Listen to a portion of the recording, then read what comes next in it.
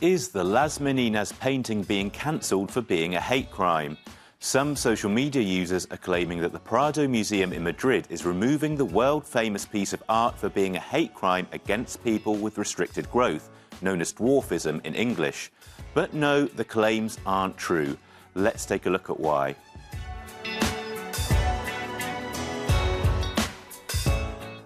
This post, published on X in Spanish, says that Ernest Urtasun, Spain's culture minister, is planning to remove Las Meninas by Diego Velázquez from the Prado's permanent exhibition. It says the reason is because the painting constitutes a hate crime against people suffering from dwarfism and achondroplasia, which is a genetic condition that slows down bone growth. For context, this is Las Meninas. The 1656 work depicts Velázquez himself painting Spain's king and queen, with various other members of the royal court present, including two dwarfs on the right.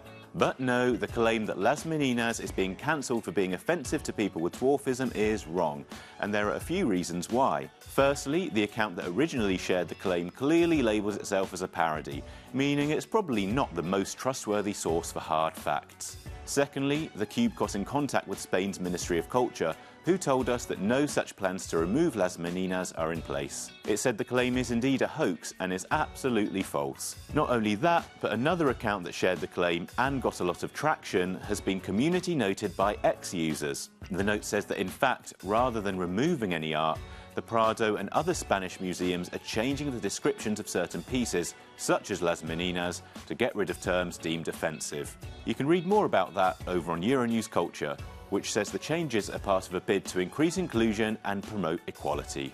The Spanish terms for dwarfism, handicapped, the wife of, and obesity, for example, are being removed to use more inclusive and less sexist language.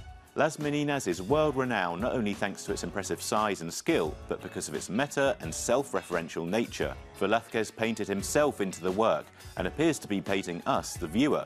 But if you look closely, you can see the reflections of King Philip IV and Queen Mariana in the mirror, where we should be standing. The viewer is standing in the spot reserved for royalty. Other important characters in the painting include the Infanta Margaret Teresa, daughter of the King and Queen, she stands in the centre and is flanked by two ladies in waiting, or meninas, from which the painting gets its name. As for the dwarfs, they're members of the Spanish court, the Austrian Maria Barbola on the left, and the Italian Nicola Pertusato on the right. For more investigations and fact checks, head to our website, euronews.com.